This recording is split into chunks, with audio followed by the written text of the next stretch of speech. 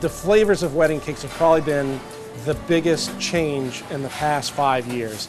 Here in New Orleans, it's kind of unique because it is so humid and it is so hot that a lot of fillings that you see in other areas of the country just don't work down here. So it was a challenge for us to be able to offer different types of fillings to give a variety. So it's not just, hey, we've got buttercream, we've got chocolate buttercream, we've got lemon.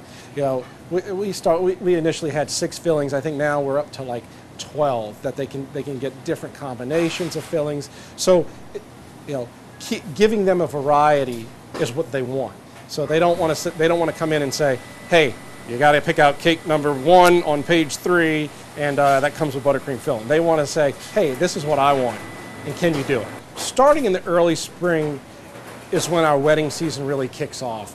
We'll gradually ramp up to doing about 40 to 50 cakes a weekend, um, and then in, into April and May, we'll probably be doing 50 to 60.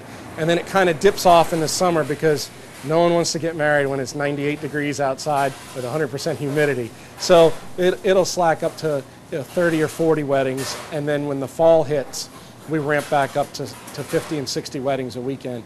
We're constantly keeping track of different wedding magazines, constantly looking at different websites. Um, and the brides, the feedback from the brides, they're bringing in pictures to us. That's how we keep our finger on the pulse of what's happening wedding wise. And, and groom's cakes, you know, have taken off enormously. It's, it's really a southern thing that I think is spreading across the country. Um, the groom's cake went from a little eight inch round chocolate cake with chocolate roses on top to three dimensional college mascots with wearing lab coats and hats. And, you know, if, if, if they can dream it and they can afford it, they buy it.